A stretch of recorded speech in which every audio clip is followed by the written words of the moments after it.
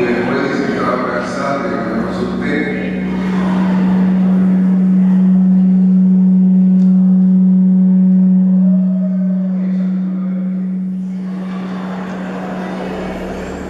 siempre que sale la Natalia, es propio del mundo.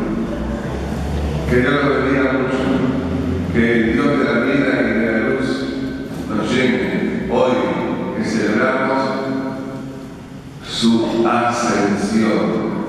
a mis siervos.